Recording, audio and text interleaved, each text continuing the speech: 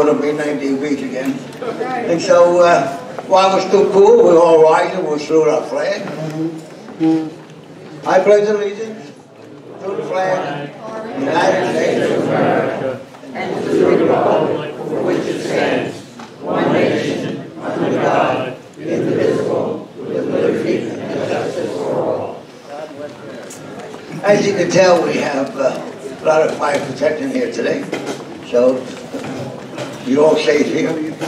Uh, we're going to get the program underway because we have uh, lots of people here have to get on and give you important information. I'm going to start with uh. Arnie. He's going to introduce our, our guest.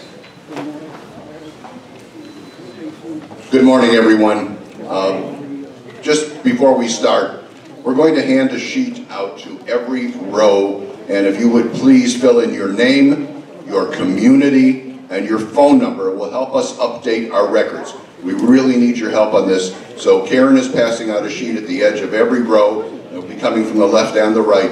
Please do us a favor and fill it out. Thank you. We appreciate it. Let me announce all of our guests this morning and welcome everybody to this wonderful pre-holiday meeting. Post. Please hold your applause till the end.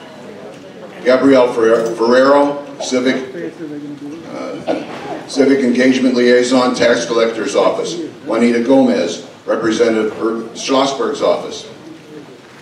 Mary Lou Berger, Commissioner, Palm Beach County. Ed Saul, Emily Slosberg's Office.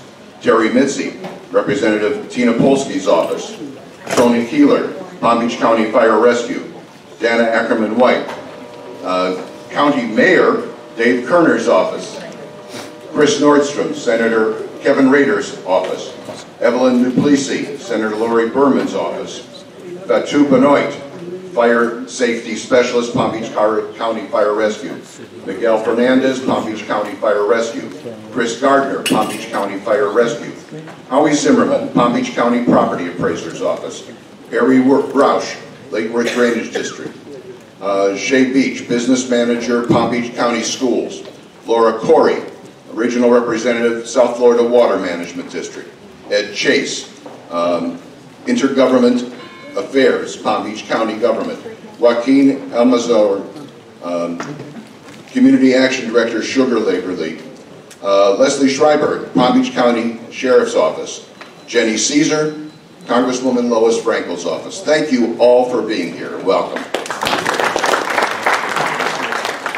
Thank you, Arnie. That's a, a roster. Think of my papers.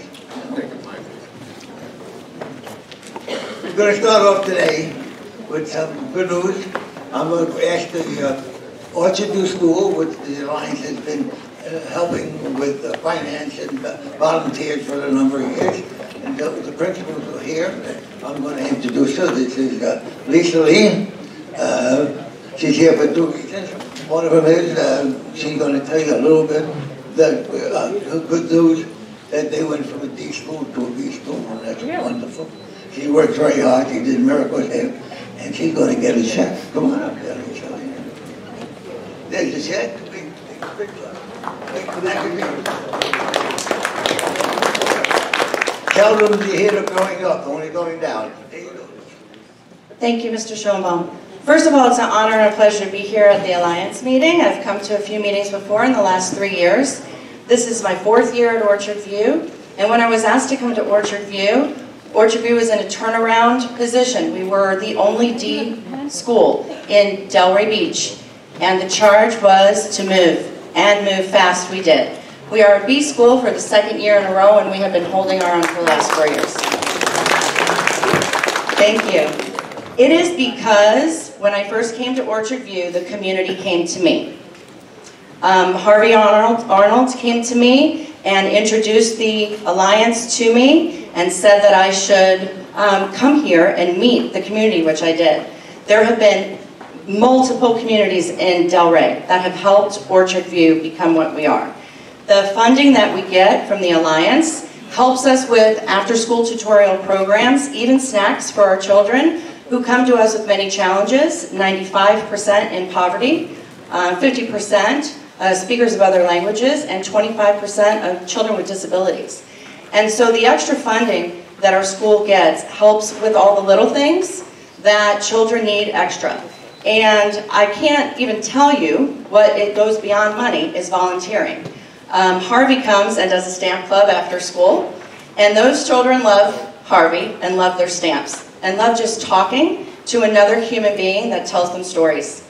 Um, we have various volunteers coming from um, different organizations and different uh, um, housing communities, such as where you live, that come in at a particular time to a classroom and help a teacher out for just a half an hour.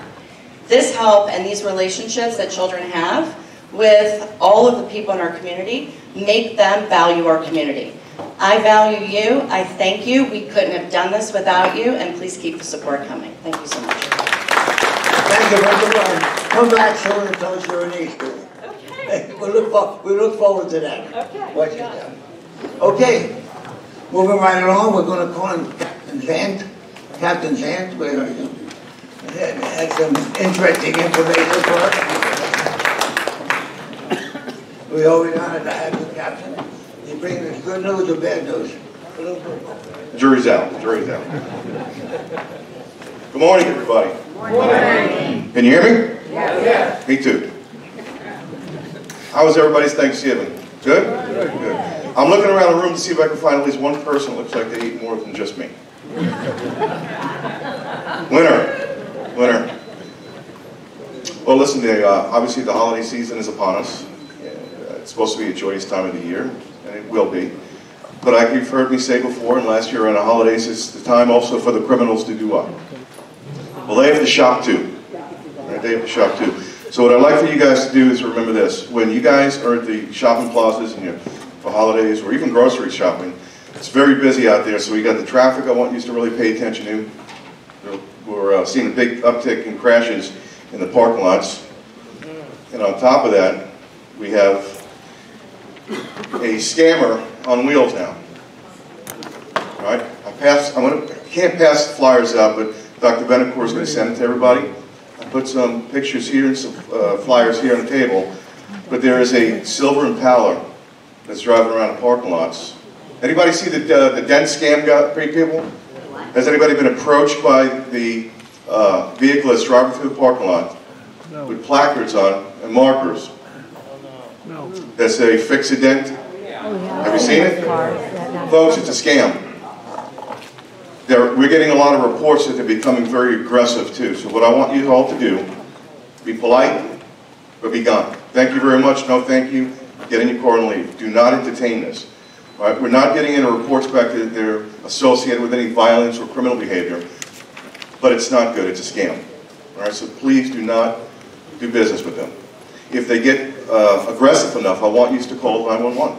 All right, report that you're being in a parking lot where you're at, let us know what's going on, and we'll get somebody down there. Okay? More information is to follow.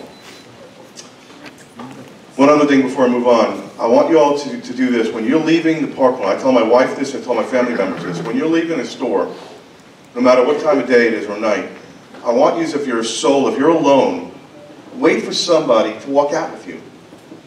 Even a stranger. I mean, you're not going to be holding their hand, but walk out with somebody because I tell you folks, there's predators in the parking lot that are waiting for an opportunity. They're just waiting for an opportunity. So be mindful, scan your parking lot, have your keys ready to go, and please, if you can, walk out with a crowd of people, walk out with a group of people so you don't, you don't stand out. All right, make sense? All right. One other thing, uh, you'll also see uh, Irv here today with his staff, and we're passing, he's passing out these flyers. There you go. So what, what these flyers are, that the new texting law that's going to be taking effect, let me rephrase that, it's in effect, we're going to be taking the law enforcement, uh, the law enforcement portion of it goes into effect January 1st. So we've been going through the last several months as an educational phase. We're moving on to the enforcement phase. So they were kind enough to pr uh, produce flyers, produce these flyers. We're going to be passing them around. And just so you know, they'll be going to every district in the county. My officers, all the deputies, are going to be putting, pushing them out on the street for civilians and, and for uh, vehicular, uh, for everybody that's going to be driving a car, really. All right, one last thing I have for you guys all today is I brought today Sergeant Yoder. Sergeant Yoder is in charge of uh, my motor unit for the South region. He also oversees the commercial vehicle uh, section of the district. I remember telling you all the, the commercial vehicle unit we, did- we, we enhanced in the South region, right? You guys remember that? They're dealing with all the commercial vehicles that we have, uh, the trucks, the problems we're having with it. So Sergeant Yoder today is going to give us an overview and update on all the highlights year ending. So with that, I want to wish everybody happy holidays, Merry Christmas, and have a safe and happy New Year, and I'll see you next year. Thank you. Good morning, everybody. As uh, Captain said, said, uh, said, my name is Sergeant Scott Yoder, Palm Beach County Sheriff's Office Motorcycle Unit. I am also in charge of or direct supervision of three motorcycle deputies that are cross certified in the commercial vehicle enforcement unit. Uh, we have three in the north end, but we had to produce three in the south end. And the reason is we discovered through the sheriff's office we had a major problem with commercial motor vehicle uh, in, the, in the Delray western area off of Lyons, Atlantic uh, area off of 441 and so on. Those, those involved actual like dump trucks, um, you know, semi-trailers, uh, anything that's over a 10,000 pound weight limit. So you have a lot of landscaping businesses out west, plus new construction going on on Lyons Road, uh, all the way to Clint Moore, all the way up to Atlantic and 441. We were having problems with a lot of those dump trucks driving through there, causing a lot of issues with uh, vehicle traffic, such as dumping illegal weight or dumping a lot, a lot of uh, debris and stuff on the roadway. So as drivers on the road, you probably experience that, uh, you know, coming on top of your vehicle as you're driving behind them, or leaving on the roadway because they have uh, mechanical problems on their trucks. So as a sheriff's office, we recognize that we're having a problem with this. So back in the summertime, as Captain Santa said, we initiated uh, sending three deputies over to uh, get trained in commercial motor vehicle uh, enforcement issues. We partnered up with uh, Florida Highway Patrol to get trained since they operate the state licensing issues. We got certified in those, in those uh, problems. Uh, over Sep- starting September area, they started their enforcement actions within the western Delray area. Uh, during that time, until this current time, uh, we processed a lot of vehicles, inspected a lot of vehicles, and determined that we're having huge issues uh, with these motor vehicles on the roadway. So lucky for you guys, this is hot off the presses, so you guys are the first ones to hear about these statistics. Uh, from September to today's date, there was a total of 81 inspections that had occurred from these deputies. Uh, 360 violations were observed on these, on these commercial motor vehicles. Uh, two drivers were actually placed out of service. Placed out of service means that they weren't properly licensed or they had a uh, medical issue that they weren't supposed to be driving their commercial motor vehicle on the roadway. So that's a huge safety problem for everybody on the road if you have people that aren't licensed to drive those motor vehicles uh, on the roadway. Uh, 35 of these commercial motor vehicles were actually placed out of service due to mechanical problems or uh, other issues with their trucks that weren't supposed to be regulated on the roadway. So that was one of the things we'd observed is they weren't being regulated, they weren't being watched. So for us to pull them over and inspect them is a huge issue because now we can pull them off the road because they're unsafe. We pulled over a dump truck the other day, had 16 violations, four of them placed him out of service, which means that his brakes weren't even working properly, which means that's a, a huge safety issue for everybody on the roadway because he can't stop. So th- that's what we're experiencing on the road. On top of that, the three deputies that are doing the commercial motor vehicles are also doing uh, motorcycle enforcement actions. So what they're doing is they're looking for speeders, they're doing school zone violations, and any other traffic violation they observe. So they have dual jobs. So they're really, really busy. Um, anything past that, guys, please let me know. I'll be on the side. If you have any questions, ask me uh, after the meeting, and I'll answer anything you have. Happy holidays, everybody, and hopefully everybody has a good new year. Thank you, Captain.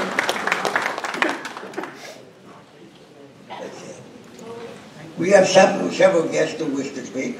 I'm going to call on um, Vice Mayor Weinroth. Vice Mayor, just voted. Headed for bigger and better things, I hope. Thank you. Good morning, everybody. Happy holidays. Uh, Yes, I'm, I'm now your new vice mayor. We take turns at being mayor and vice mayor. We hand it around this year. Uh, Dave Kerner is our mayor, and I am pleased to be in his second in command, a heartbeat away. Um, And working hand in hand, of course, with Mary Lou Berger. We are certainly a tag team down here as far as being your commissioners, and anything you need between District 4 and 5, It's my pleasure to help you, and certainly Commissioner Berger's staff is there to help you. I have a couple of things that I wanted to bring up today, and I guess keeping in, in, in line with the, uh, the motor vehicle issues that we've been talking about, uh, there is a new procedure. If you're like me, the last time you looked at a, uh, a motor vehicle manual was probably about 50 years ago. So we've uh, changed a little bit about the driving in Palm Beach County, which you probably should know. There is now a flashing yellow arrow. And you probably are wondering, what is a flashing yellow arrow? So when you come up to an intersection, which before had either a red arrow or a green arrow, red meaning you stopped, green meaning you were protected to make a left turn. Now, in some intersections, and right now this is being implemented in Boynton Beach along Congress, so you'll see them up there, but it'll be implemented throughout the county. A flashing yellow arrow means it's an unprotected left turn. It's a permissive left turn, which means you come up to the intersection. If it is clear for you to make the left turn, you can make the left turn on a flashing yellow arrow. If it's red, you don't go. If it's green, you can go and you're protected from the oncoming traffic. If it's flashing yellow, you have to observe the traffic coming at you. If there is no traffic, you can then make the left turn. So this is a new procedure and it's supposed to reduce accidents. It's also supposed to be a situation where you're not going to be stuck at a red arrow and there's no traffic coming and you're just frustrated. So if you see a flashing yellow arrow, that means it's a permissive left turn and you can make the left, but make sure that there's no oncoming traffic. And, and one more thing, we've been having a lot of traffic accidents at the railroad crossings. And this is really something that shouldn't be happening. I mean, we had one terrible accident, which was at an uncontrolled uh, crossing, which I'm sure you heard about. A, a grandmother and two children were killed.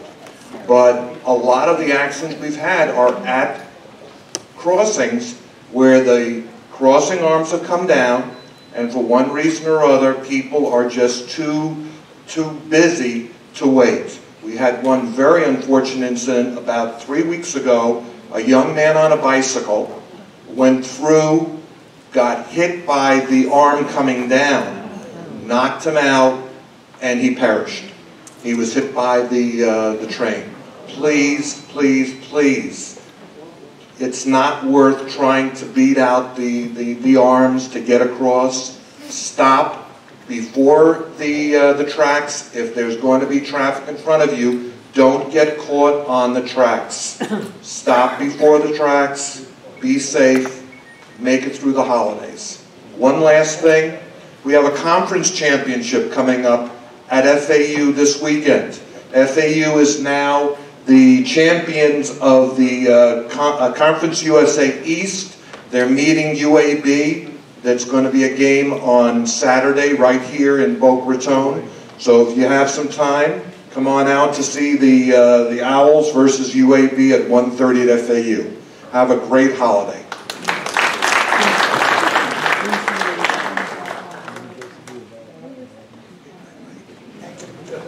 Thank you, Vice Mayor. And now I'm going to call on uh, our Commissioner, Mary Lou Berger. Mary Lou. I can't say anything about it. We all know everything. She's been here a long, long time. So have I. Not to think of it. There you go, Mary Lou. Good morning, everyone. Good morning. It's nice to see you all back after what was a uh, uh, hot summer, and then uh, unfortunately I couldn't be here for a couple of months because I was at various conferences um, learning how to be a better commissioner. Um, but right now I'm here with you and I'm happy to see all these uh, faces that I haven't seen for such a long time. And do we not have like a whole core of sheriff's people here and county people here? And uh, I really appreciate the fact that they take their time to come to the Alliance. So there's a lot of things going on right now, and uh, one of them is the airport. It's become very busy. It's the season now, and um, what is the phrase that those of us who live here year-round say? They're back. um, let me see here. Also wanted to let you know, um, you know, a lot of you have guests that will come down over the next couple of months, and uh, Green Cay Nature Center up towards Boynton, how many of you have been there? Well, right now it's closed. So if you have some uh, visitors that are coming into town, not a good idea to go over to Green Cay um, because they are closed for some renovations. And I'll, we'll let you know when it reopens because I'm sure those renovations will make that an even better place to go and visit. And it really is beautiful. Um, we still have Wakodahatchee Wetlands. And I don't know if you're familiar with that, but that's also in the Boynton area and another good place to go. And there's always our beloved Morikami to go, either as yourselves, as uh, people who have come back, or visitors that are coming in to see you over the next few months. So I don't want to take up a whole lot of time. I just wanted to mention those couple things because we have a long lineup of people that want to say good morning to you and, uh, and share some information with you. So I'm glad to see everybody here. I hope you had a great Thanksgiving and I hope you have happy holidays no matter how you, uh, how you spend them or which ones you celebrate. I hope that they're all wonderful and a Happy New Year to everybody. Thank you. Thank you, Mary. Okay. We have uh, Karen Brill from the school district. We're innovating school people today. We usually have none, but now we have two. Come on. Karen Brill, our commissioner on the board. Good morning, everybody, and good morning and greetings. First and foremost, I want to, from the entire school board, wish all of you a very happy, healthy holiday season and a happy and healthy new year. As I reflect back on the past year, one of the biggest challenges we have as school board members right now is getting our students and our parents to understand that when a student makes a threat to our schools, it's criminal. And so when the sheriffs go out to their homes, the parents say, well, they were only joking. Well, joke's over, guys, because we can't take any chances. We do not want to have the tragic events that have happened around the country and in our neighboring Parkland happen in Palm Beach County. So we are working now to create more videos, more home information to get families to understand. But then the other half of it is that when a student does get in trouble, it is very difficult these days to get families engaged in what's going on. You know, families are working two, three jobs. So this coming Wednesday, we are going to be talking about our expulsion policy. That's when we take students and put them in alternative settings. And we're going to require the families to now come in and sit and watch a video, learning their rights and learning what they need to do. And we're also going to make sure we have mental health people available for the families, for the students. So next year, look for us to be more focused on family engagement and a parental responsibility because we have to put these students and our schools to, on a positive track continuing forward. So to all of you, a happy and a healthy. Take care. Thank you. I just want to uh, say hello to uh, a Major Khaleesi, our former captain, came to pay us a visit. We're glad to see you Lori. Dr. Lori Vinikoor, it's over, and I get to sit down. Great, great. Thank you, President Bob. What a great job here. Today, we have organized, we have organized a terrific meeting here, which is going to be filled with information. We are going to have our Chief Reginald Duren come speak, and he is our newer fire chief. I was really honored to be at his swearing-in ceremony where there were so many wonderful things spoken about him, and we have so much to look forward to with Chief Duren. Besides, his entire family is so involved in, in first responders and fire rescue. Uh, I met his wife, who actually is also a, a first responder. It, this is going to be a wonderful meeting. I'm handing the lectern over to our district chief, Anthony Tozy, who will then introduce our speakers for the firefighters. And then the very vital information on Delray Medical Center's emergency services will follow. Chief Anthony Tozen. Thank you. Thank you, Dr. Vinikoor. Good morning, everybody. Everybody have a wonderful Thanksgiving holiday, I hope? Good, good. Uh, thank you for having us. Um, you know, in the fire service, we have many fine traditions that we're all very proud of, and one of them is flying the flag from the ladder. And it's usually reserved for very special occasions.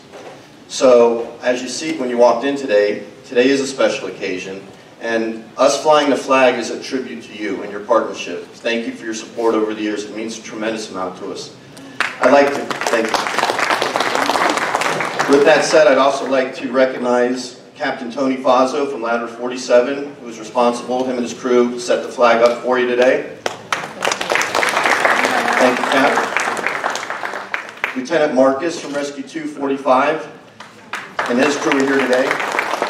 Incidentally, when the meeting's over, they're going to have a static display. Please feel free to go out and look at all the equipment we carry, ask them some questions. They'd love to meet with you.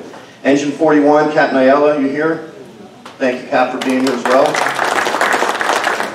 And they're all under the command of one of my battalion chiefs, Chief Chris DeVito. Chief DeVito. Thanks for being here. So as Dr. Vinikoor mentioned, um, we've got quite a few great speakers here today, and I'm going to introduce them to you. Um, we want to keep in the theme of this year's, uh, this year's theme, planning for the future, expansion, enhancements, and advances. And we like to think we're at the tip of the spear with all that at Fire Rescue. That's what we work towards, that's what we strive for. Um, we want to always do better. So with that said, I'd like to introduce uh, a tremendous mentor, our leader of our organization, our Fire Rescue Administrator, Chief Reginald Duren. Chief Duren.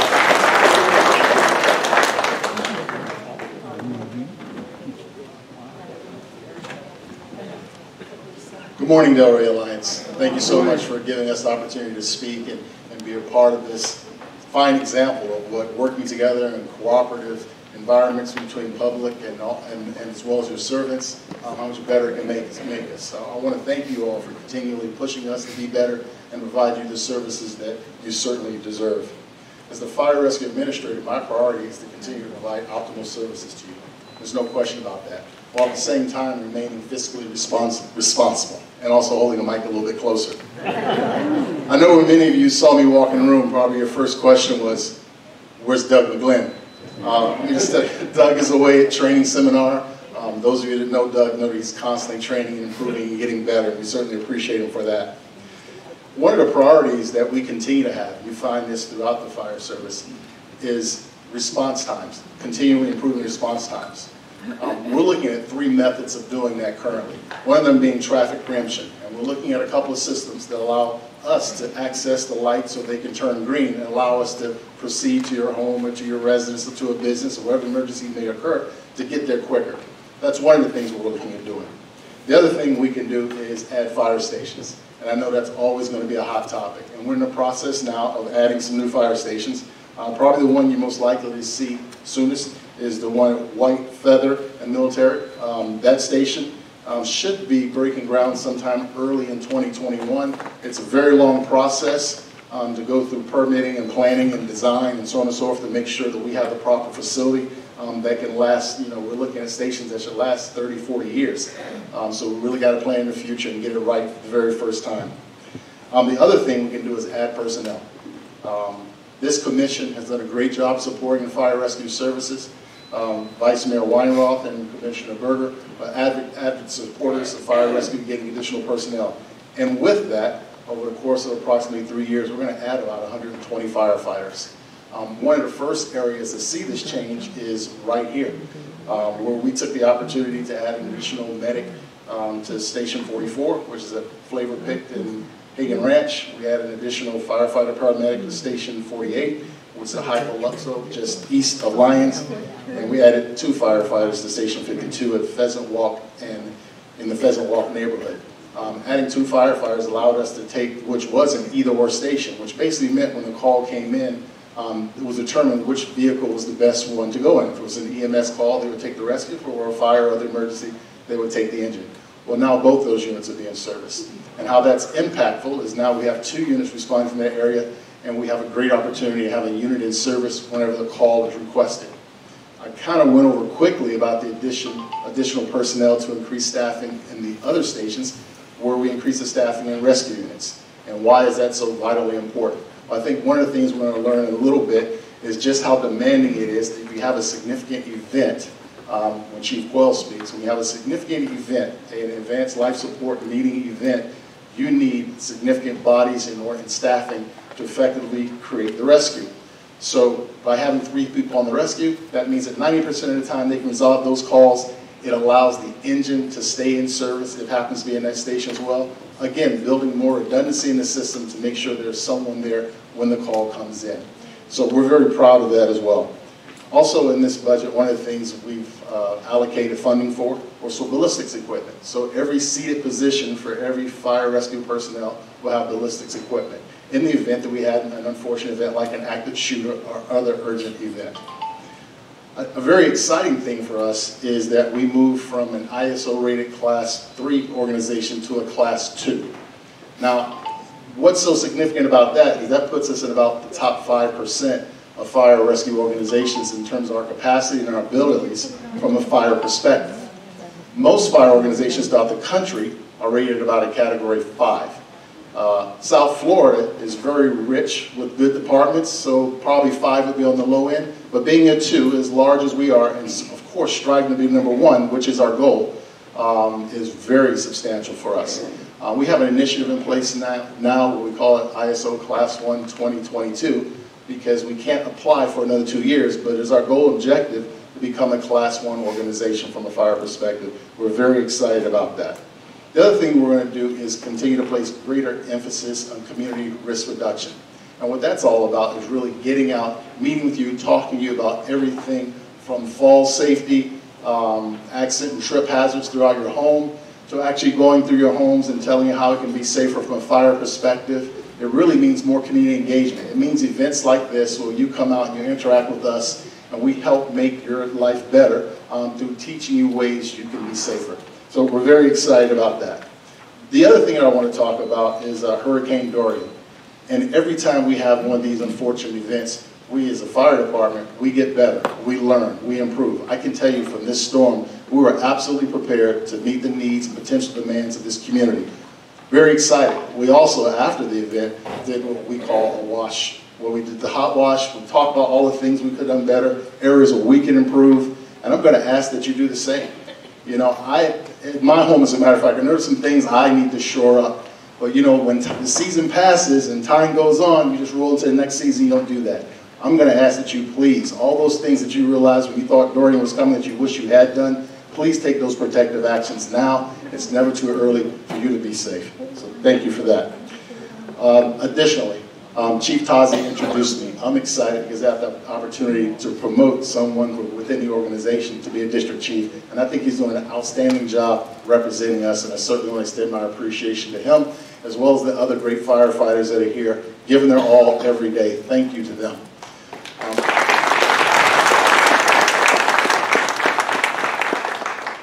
I'm also very excited because I had the opportunity to promote Chief Coyle to the position of the EMS Division Chief, and he's going to be speaking to you shortly. It's exciting to promote Chief Coyle because, first of all, he's young, not old like myself, um, and he's going to have a bright future in this organization, and he brings an energy that you're going to clearly see and realize there's something different about Chief Coyle in a positive way.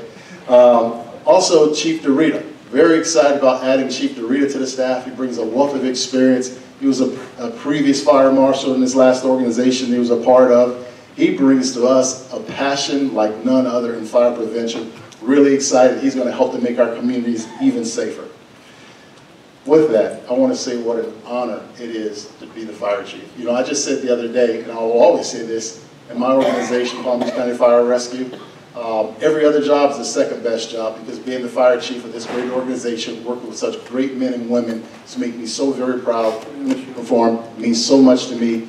Making this community safer, making it better, constantly improving is all I want to do for us. And I know we're going to become a better community because of people like you coming out, making us get better, telling us what your needs are, voicing your opinions. I want you to know we value your input, and thank you very much.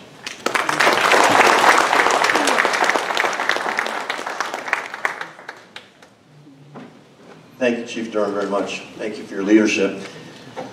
Okay, as Chief mentioned, uh, we recently brought aboard uh, a friend, a colleague, and someone who I admire greatly, uh, who is one of the best fire marshals in the state of Florida. And I, I'm here to say we're blessed to have the two best fire marshals in the state of Florida recently join us. Chief David Woodside is our fire marshal. Unfortunately, he couldn't be here with us tonight, uh, but I look forward to introducing him in the future. Um, as Chief Duren mentioned, part of the team that he is building included Chief Dave Dorita. Chief Dave Dorita just finished a 30-year career with Palm Beach Gardens Fire Department where he was their fire marshal. Uh, he's written and enforced many of the fire codes that we work under. And it's my pleasure today to introduce to you our Assistant Fire Marshal of Palm Beach County Fire Rescue, Assist Assistant Fire Marshal Dave Dorita. Chief. Thank you. Um, I stand up here because how do you follow that at five foot eight? So I was brought in for the comedic relief. Um, so let me see how well I do. Um, I want to thank you guys for uh, having us. Uh, I do have a passion uh, for fire prevention. I did serve uh, time in operations and immediately found that it was a lot nicer, you know, writing up exit signs and bad fire extinguishers than going into the fire. So that's why you do that. But the passion becomes fire prevention, uh, the, the word prevention. We're trying to put fire rescue, and usually the uniform guys on the street hate us because we're trying to put them out of business. We want to reduce the fires. That reduces the ISO scores that the chief talked about. Um, it's a savings, but fire prevention now has morphed into community risk reduction, and those are the big words that we want to use. And so fire prevention, we're known as the BOSS, Bureau of Safety Services. Uh, that's not an ego term, that's just a great acronym to use and, and, people will pay attention to it, but we do everything from risk reduction. We have drowning prevention in the back. We have uh, brochures on CO detectors and that's one of the things I'm going to talk to you about because in reducing the amount of calls, we don't want our crews, the, the, the boots on the street, the ones that do all the work, we don't want them running the calls that they should never have been dispatched to in the first place. And it ties into the, the letter that's on your table um, CO monitors, not to be confused with CO2 that makes your soda sparkly. This is CO. It's a odorless, colorless gas that basically, if you have a leak in your home and you don't have the proper detectors, you're going to go to sleep and never wake up. If you have the detectors, they go off and it's monitored or you call, fire rescue is going to respond and we're going to come into your home, business, or residence and we're going to take meters and try to find where the source is coming from and hopefully get it repaired. It's usually a leaking gas valve or a stove that's burning improperly. But what we also have is a, the call volume has gone up tremendously on the golf carts. So does everyone know someone or someone here have a golf cart? Do we? Don't up for failure. Okay, we have one. See, I brought the tchotchke gifts too. This is a carabiner, so when you rappel this weekend, don't use it. It won't hold any weight. Who else has the golf cart? I saw a hand, and then, well, you don't want the gift, you raised your hand. You know someone, you get the tchotchke keyring. There you go.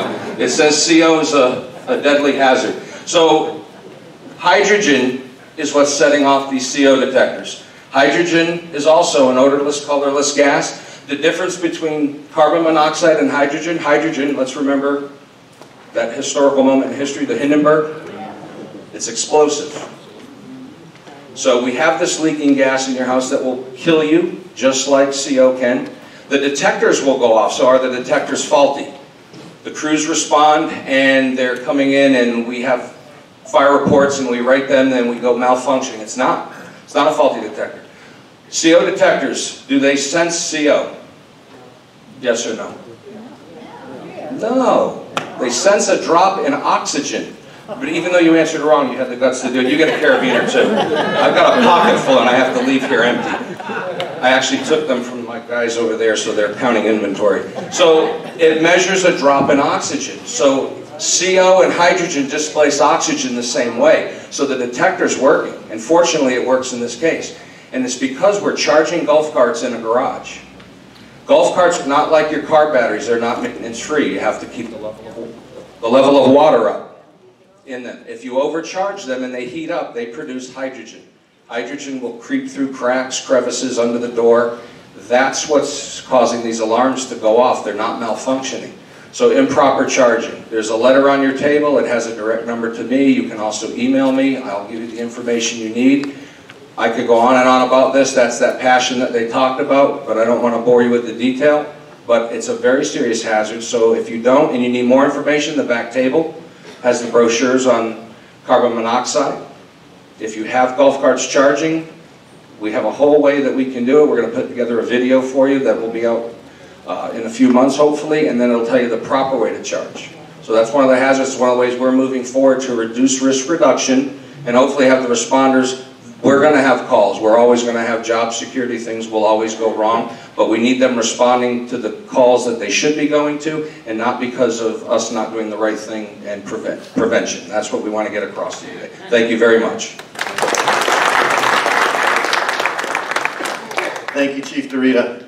Uh, Chief Dorita has many wonderful programs and he'd love to share them with you, so hopefully sometime in the near future we can have him come out and speak on some other fire safety uh, issues that'll help us all. So as Chief Duren mentioned, uh, we're also very blessed to have a new chief of our emergency medical services. You know, with any organization, there's always that one individual that has the wow factor. You know, he's a, he or she is a leader just right from the beginning, and you know they're, they're going to be doing big things for you or your organization.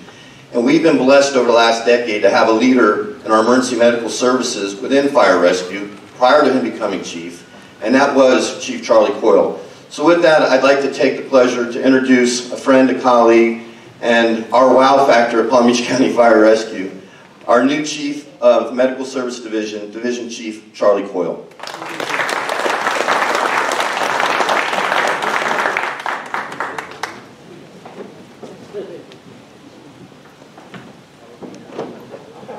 How do I live up to all of this hype about me and energy and motivation and all that stuff? Well, I'm going to try and do my best, but what I was asked to talk about with you folks today is the innovation that we're doing in the EMS perspective and how we integrate that with the local hospital. So I took a little time to, to read about the Delray Alliance, and I love to read your mission statement because it spoke specifically about EMS.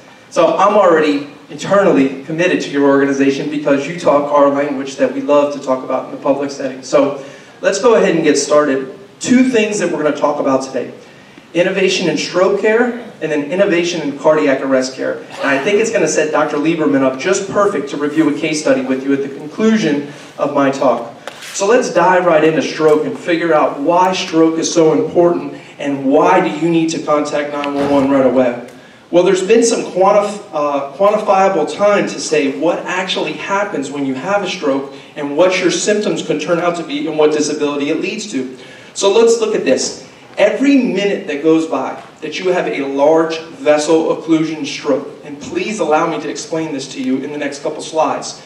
I'm going to simplify it. It's not a medical term, but I'm going to say it's a tree trunk stroke, and that'll make sense to you here in a minute. But what you do is you lose 1.9 million neurons. Now remember, your brain is like an electrical box, and it sends signal to signal. But when you lose neurons, you lose the capability to transmit that signal. So just think about that. Every minute that goes by, 1.9 million neurons. For every hour that goes by that it's not treated, you lose 3.6 years your, I'm sorry, your brain ages 3.6 years during that time.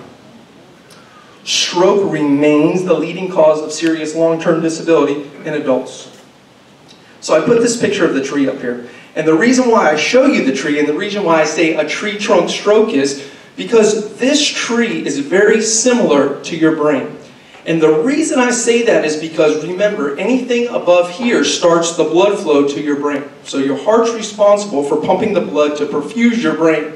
So anything that goes up into your brain starts at these big vessels that come up here and branch off, much like a tree does. As it comes up, it goes off into the big feeder vessels that feed your brain. And if you don't believe me, here's an actual angiogram of what the human anatomy looks like here's the tree trunk, and then it goes off into these little feeder vessels, and this is the end product of what it looks like. So the large majority of the strokes that we run in the community are something called ischemic strokes. And approximately 15% of them come from the large vessels, the tree trunk strokes. So basically, if you could think of plumbing, or you think about a pipe, this pipe has a complete occlusion in it. And about 15 years ago, They would give you a medication, everybody would huddle around, and they would really pray for you and hope that you had a good, successful outcome. The game has vastly changed over the past couple of years. And what I mean by that is this little procedure here, they go in through your groin, they find that goes all the way up, they have, use a catheter that goes all the way up to your brain, and what Dr. Malik likes to explain it as, it's like driving a remote control car through the city of New York while you're standing in San Francisco.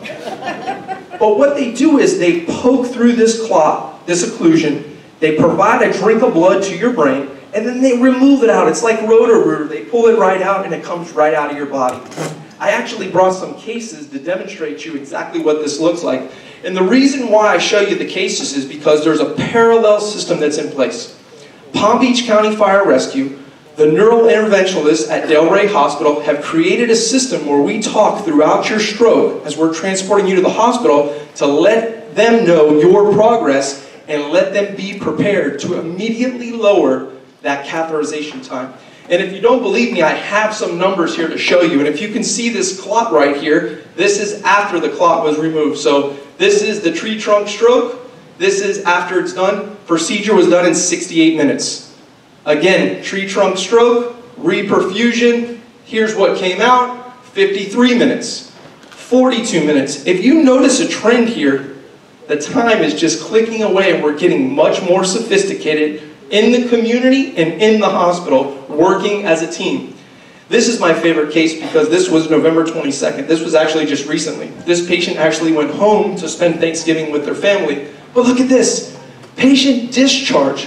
Discharge from the hospital in 24 hours. I can't even get my dry cleaning done in 24 hours. Complete tree trunk stroke, clot removed, patient revascularized, home in 24 hours. This is the neural interventionalist that works in this community. His name is Dr. Niels Mueller, and this was him Wednesday. And this is our studio. We're so blessed to have an actual video studio at Palm Beach County Fire Rescue. And he comes in about every couple months to re-educate our folks to make sure that they understand what the signs and symptoms look like and how we can better improve our stroke system. So it, since I have the opportunity to speak to the, to the folks here, I would like to just reiterate to you the importance of recognizing stroke because even though it's the leading cause of disability in the community, we still, on an average, take up to three hours to call 911 when we suffer stroke-like symptoms. So I'm going to give you some atypical stroke signs that are a little bit out of the ordinary. Number one, one-sided weakness of your body, your face, do not hesitate, call 911. Number two, any loss of vision or disruption of vision, call 911. Any loss of normal speech, any loss of sensation, or any loss of balance or coordination. That could be a posterior stroke in the back of your head, and these are not typical signs of a stroke that we like to push off and just say, oh, I'm not feeling well today. If you have that large vessel occlusion, that tree trunk stroke, just remember that you're losing neurons by the minute by not calling 911. Uh, bleeding stroke, it's going to be the worst headache of your life. It's very hard for us to differentiate, but just know that your local hospital also treats the hemorrhagic stroke when the vessel actually ruptures. The mnemonic that the American Heart Association uses is FAST, facial droop, arm weakness, speech difficulty. Please call 911. Do not hesitate. That's what we're here for. So let me shift gears a little bit and talk about cardiac arrest. And I'm going to start back in 2011, and I'm just going to kind of give you a little trend where we started and where we're going. Uh, and hopefully uh, we end up off the charts because we're getting there slowly. But in 2011, you can see this was how many patients in the state of Florida we were able to successfully, successfully resuscitate from an EMS perspective. And it was less than 6%, or right at 6%. 2013, we got a jump. The guidelines changed. We went to 16%. 2014, we were at 17% in the state. Palm Beach County Fire Rescue hovered right between the 16 and 20% mark. However, I love to use this quote when I talk about cardiac arrest, or I talk about stroke, or I talk about innovative theories. Insanity was labeled by Albert Einstein as doing the same thing over and over again, but expecting different results. So if I show you those statistics and you look and the line just keeps going like this, well, don't you think we should probably change something in cardiac arrest care? Is 16% something that we should say, wow, we're doing a good job? The answer to that is absolutely not. The chain of survival is something that was coined in the early 80s in a newsletter in Orlando, but actually made it to publication in 1989. And there's five things that stay true today that we said in 2015, man, we really need to check out our system and make sure we're doing the right thing. Number one, recognition and activation of the emergency response team. That's largely done through our boss department because we reach out to people in the communities and provide service and provide hands-only CPR. And we teach the citizens that you need to be able to understand that if a patient has these symptoms or the patient is unresponsive, the first thing you need to do before trying to help them is call us to get the wheels turning. Number two is we looked at the immediate high quality CPR. Well, who do you think is the first responder? Who do you think is the first person that's on the scene of that cardiac arrest? Anybody shout it out. We are. We are. You are. So how do we get to you? If we haven't come to do to your uh, community to do CPR, how do we get to you? By phone. So we looked at our call dispatch center and we said, what's the average time in 2014 of our dispatchers initiating CPR through the phone? We measured that time. Anyone want to take a shot at what that time was in 2014? I wish. Four, four minutes and 15 seconds is where we were. So we said, hey, how do we get better with this? So we took the cards that we have to use and we just rip them up and threw them in the trash can and said, let's, let's rework these things. And we did. Now the average, the average goal that you want to achieve is two minutes, and guess where we're at? A minute and 27 seconds. And that's not me. No, no, no, no, no. Thank you for the applause, but I wish my dispatching folks were here because I got to tell you, they have a quality improvement system in-house there and let me tell you, she's like the warden. When she comes out, if you're over two minutes, you better have a good explanation. So that's number two. Number three, rapid defibrillation. Is there an AED anywhere in this building? Can anyone tell me? Outside where? I think in the office. I got you, brother. There you go. Okay, so it's not in the office. If you actually go outside, it's right here to the right. But what I will challenge you to do is next time you're in the community, whether it be Publix, whether it be the movie theater, wherever you're at, look for the AED. Timely defibrillation saves lives, okay? And our crews know this. And what I'm going to tell you about the next bullet here is the basic advanced emergency medical services. We work on something called Pit Crew CPR, where all of our crew members know a specific task and job. And when we respond to a cardiac arrest, it's almost like we're SEAL Team 6. Everybody breaks off, everybody knows what they're supposed to do, and they implement it flawlessly because they practice it until they can't get it wrong. And then the last one is advanced life supportive post-arrest care. And I'm going to leave this to Dr. Lieberman to expand on a little bit, but I will tell you this, that I'm very excited as a community. We've now got all of the hospitals together with fire rescue, and we established something called the Cardiac Care Collaborative, where we all get together and share best practices. And it's not just Palm Beach County Fire Rescue, it's any service in the community, such as Boca, Delray, all these other municipality fire departments, they come to our meeting as well too to make sure that we're all doing the right thing. So what changed after 2015? Well, these are all cardiac arrest survivors. And I could go on and on and tell you about each one of them, but I'm not gonna because I gotta be respectful of the time here. But I want to talk to you about two cases. Number one, this little girl right here. That's baby Stella. Baby Stella, when she was 10 months old, was in the pool for six minutes. Crews came in, Dispatch did their job with CPR.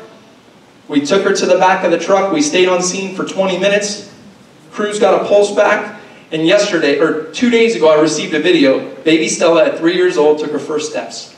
Uh, she is 100% neuro intact, survived, and is at home. But I want to share one more case with you, and I promise I'll turn the mic over at this time. I have a lot of chiefs here, so I got to be cautious on the way I say this. So I'll just, I'll try and preface it appropriately. What you see here is a picture from a third floor, from a third floor hospital room. And this crew is doing training uh, at the local hospital. So what they have here is one of our ladder trucks. The ladder's raised to the third floor. The picture's taken in the hospital room looking out at the crew. And what it says here is, get well, Chase. This young man right here, 31 years old, Palm Beach County Fire Rescue employee for six years, firefighter paramedic, went into cardiac arrest at 4.45 in the morning. Right next to him, his beautiful wife, 31 years old as well, 11 weeks pregnant, called 911 immediately. Dispatch coached her on how to do CPR. Within 45 seconds, she was doing CPR. Crews arrived, SEAL Team 6 came in, everybody set up. Remember I said defibrillation, timely defibrillation if applicable. Chase received four defibrillations. Chase was transported to the local hospital. Chase was put into a comatose state for four days under cooling or three days under cooling. Chase now is home and went to his son's soccer game this Saturday.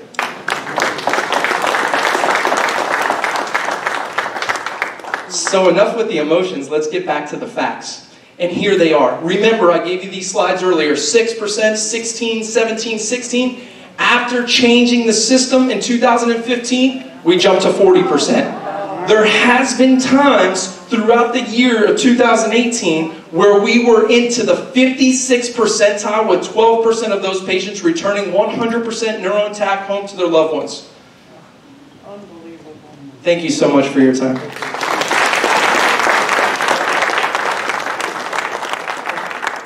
We are really getting some vital information here today.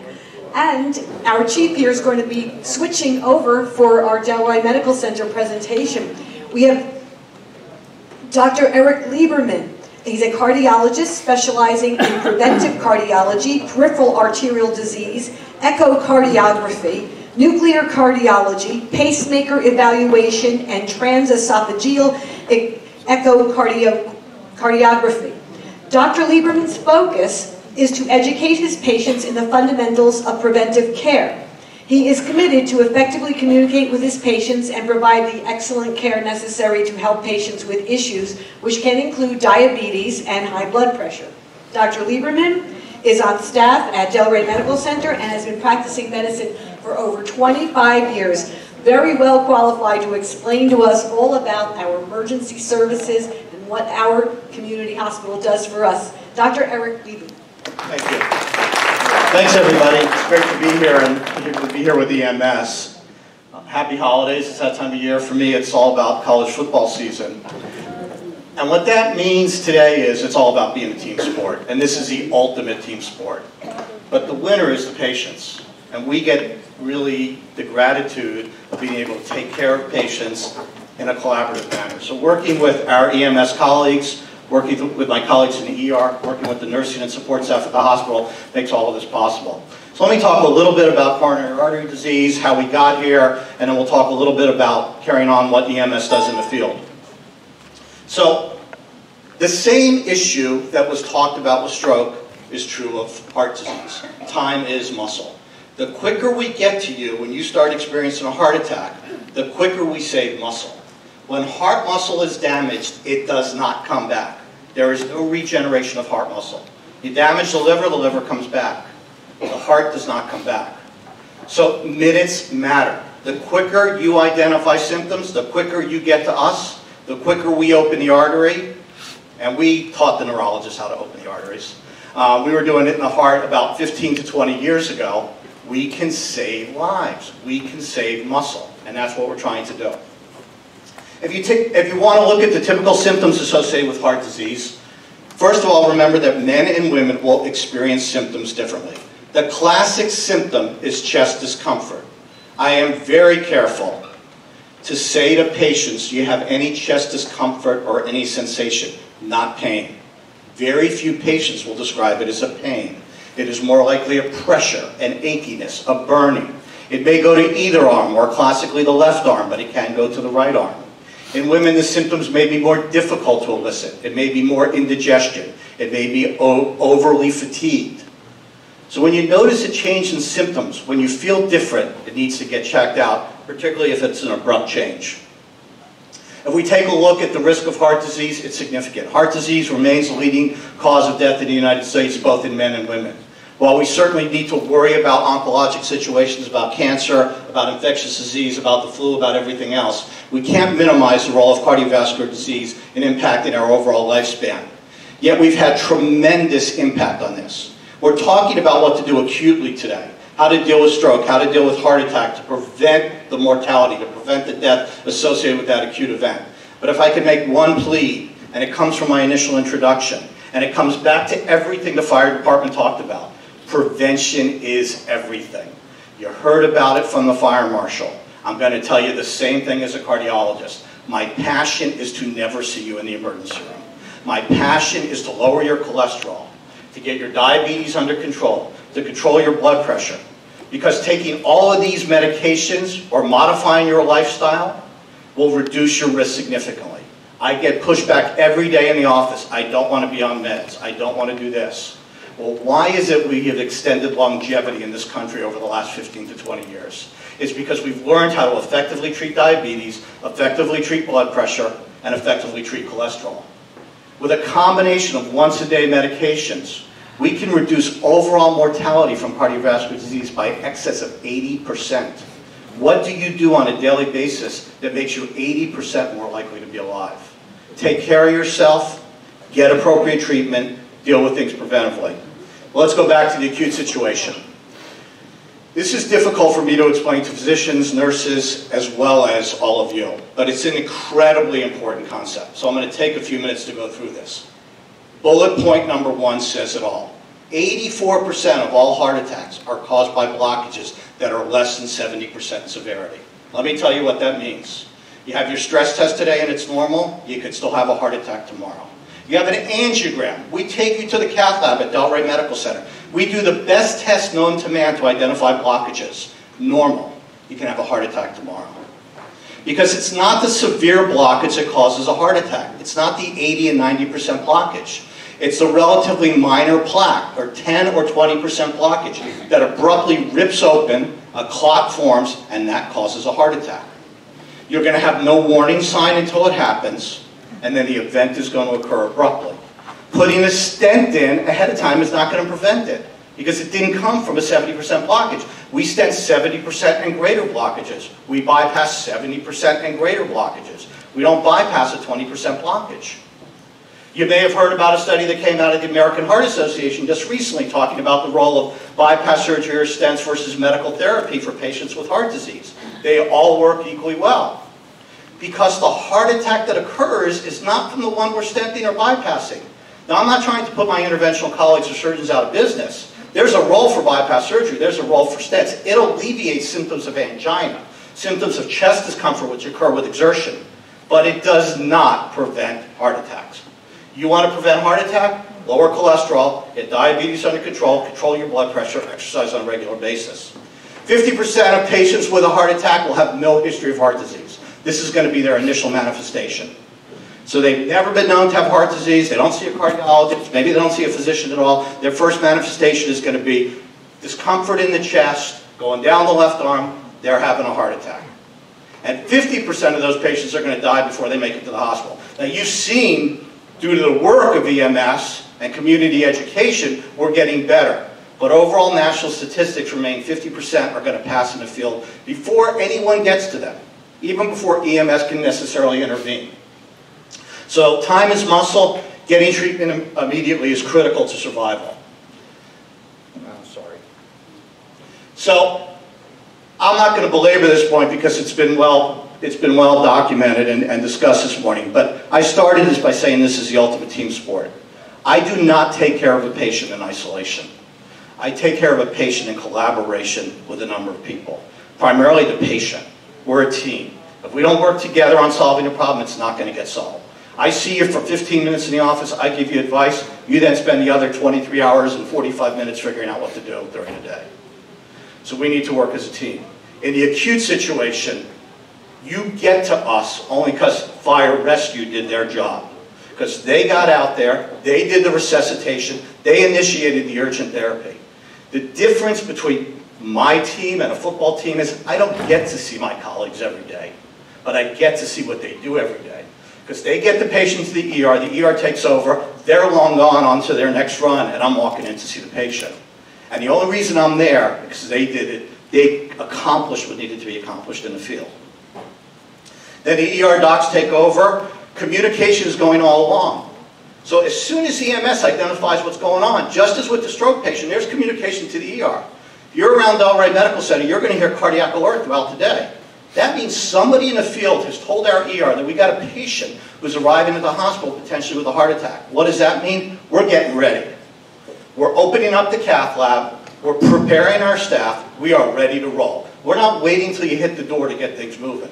Things are in place even before you get in that front door of the hospital. So if you take a look at the number of cardiac alerts shown in blue, you can see over the last year or so where we're at. Most of those, look at the red line, most of those come from EMS. So our EMS colleagues are the ones getting you there and getting you there quickly. And then from there, a number of them go to the cath lab. Now some don't go to the cath lab either because it wasn't a heart attack, patient's not appropriate to go to the cath lab for other reasons or other issues going on. It's a different diagnosis. But the reality is, we're getting you to the cath lab because the cath lab is where we do the procedures, as was discussed with stroke, where we open up the blockages. So time is muscle. And what we're really trying to do is shorten that time. We're trying to get down to as short a period of time from the time you hit the front door until we get a balloon across the artery. Because when we get a balloon across that blockage, we've restored blood supply.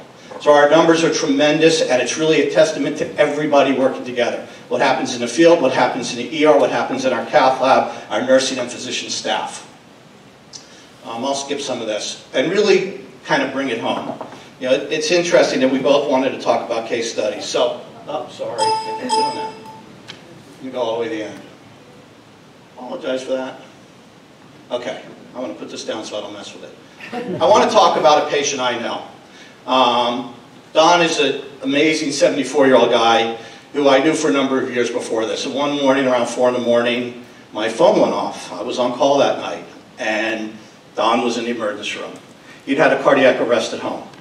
His wife identified the cardiac arrest. She called their security team at where they live, and EMS was activated as well.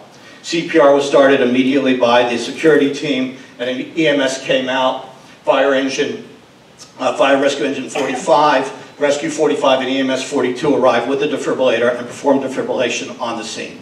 So the patient was defibrillated, as you heard about, on spot, while already receiving CPR. So CPR is initiated. Basically, to put it bluntly, Don's dead at this point. There is no heart rhythm. He's getting CPR, he's getting defibrillated. He was brought to Delray, and shortly thereafter we were called he was brought to the cath lab. He had a blockage involving one of his arteries, which was opened up by my colleague, Dr. Fisher. We had extensive conversations with his amazing wife and son, who happens to be a surgeon. And we also talked about initiating what we call the hypothermia protocol. So basically, we cooled Don down for 24 hours. This has been shown to preserve brain function, to improve neurologic recovery. Because the problem is he had about eight minutes of downtime. So that the brain's not getting blood for eight minutes there. And the question is, we can get the heart back, but what does that mean if neurologically you're not intact? It's all about being neurologically intact. So we cooled down for 24 hours and then started rewarming, and rewarming takes about 12 to 24 hours. And one afternoon, I think um, it was about a day later, I get a call from Dr. Fisher, who had actually done his procedure, and said, you got to get over to Delray now. I go, what's going on, Mark? I'm in the office. What do you need? You got to come talk to Don. I go, what do you mean talk to Don? He goes, he's fine. So I think the best way for me to let you know about Don is to introduce Don. So Don, you want to come on up?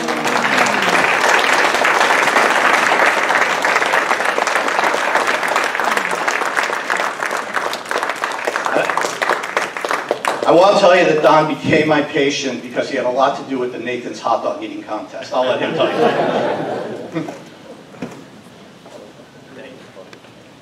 All right, my friend and my patient, Dr. Thank you. Yeah, it's a pleasure to be here, and for me, you can imagine it really is a pleasure to be here. No question about it. Um, you know, I, I looked up uh, in, in, preparation for this morning. I looked up more information that I could find on cardiac arrest. Six hundred thousand people have a cardiac arrest every year. Ninety-four percent of them die if it's outside of a hospital. If you're in a hospital, you have a better chance. But outside the hospital. And clearly, it was the, we've heard it several times this morning, it was the fact that my wife was smart enough big enough to move and get the right people there at the right time. But let me tell you a little bit about this. Because we learned and heard an expression that you don't ever do anything at home you don't want to have to explain to the paramedic when he comes. So on the night of September 16th, 2007, 20, 2017, we have a lot to explain. Uh, earlier in the evening, I had taken part uh, in, uh, Parkinson medication. And uh, we have marijuana for Parkinson's, medical marijuana. And we did, uh, I did, Marilyn. I took some puffs of marijuana. And we got into bed and started to engage in lovemaking. Now, at 76, with two shoulder replacements, two knee replacements, cataract surgery, prostate cancer, uh, melanoma, and probably several other things you don't even know about. It's still love in my house. We can still keep going. Few minutes into the activities, my wife said to me, Don, you're heavy, get up. Get up, you're like dead weight. Well, of course I was like dead weight. I was dead. She had the presence of mind to slowly push me off the bed, get out from under me. As I hit the floor, my eyes rolled back in my head, and I wasn't breathing.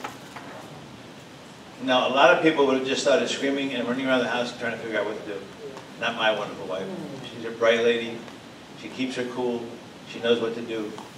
And she immediately called, we live in Addison Reserve. She immediately called the uh, Addison Reserve uh, Security. We're very fortunate there that we have a revolving, a revolving, ro roving EMS squad, 24-7.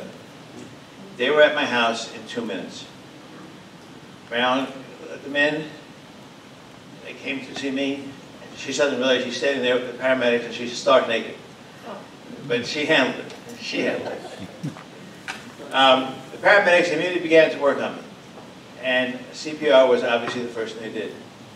And Brown kept saying, is he okay, is he okay? And the guy said, I can't get a breath, I can't get a heartbeat. He said, well, we still have a bring out the defibrillator.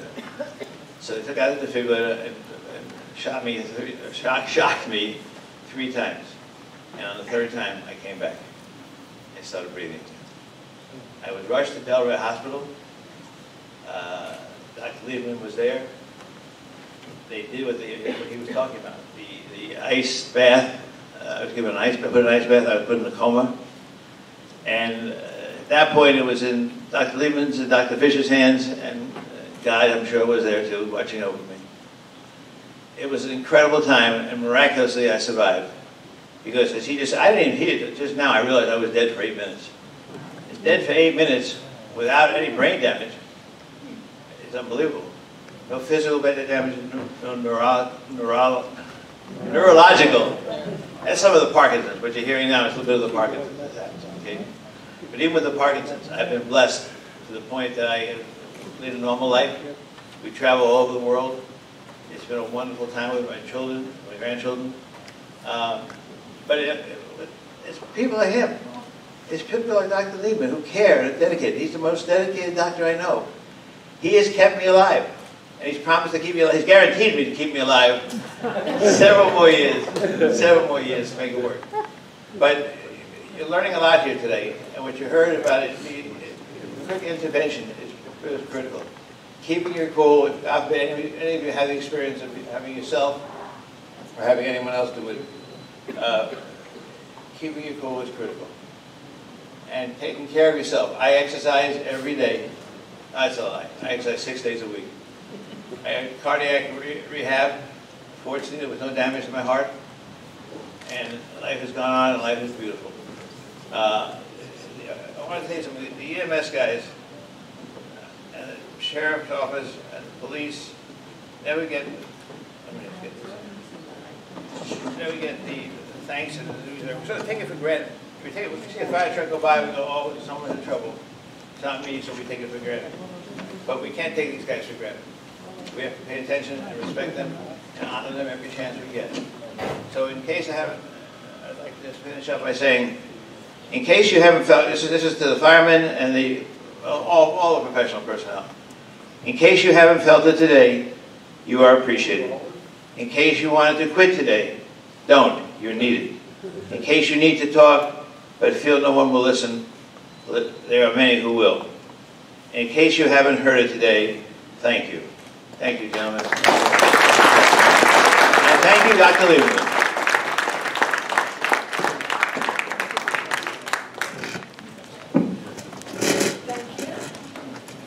Thank you, Dr. Lieberman. Wonderful, wonderful. What a terrific program we had today. Really fantastic. Give everybody a round of applause.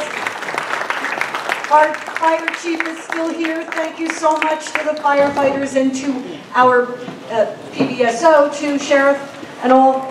And this is the end of the program, but just to let you all repeat it again, that remember our Get to Know Palm Beach County Expo, bring the cards back to your associations and, and let people know about that. And remember, our Wellness Screening Expo, and that's very appropriate to end with that today, that we're going to have with Delray Medical Center. We partner every year, Friday, January 31st, 8 a.m. to noon, and there would be blood screenings and all, so look for those flyers and all in the following newsletters. Have a terrific holiday, and we'll see you in the first week of January. One minute.